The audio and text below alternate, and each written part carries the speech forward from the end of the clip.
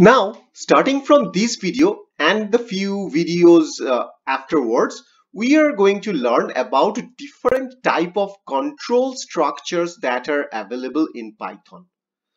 Like other programming language, there are three major type of control structure that are available in Python. The first one is sequential control structure.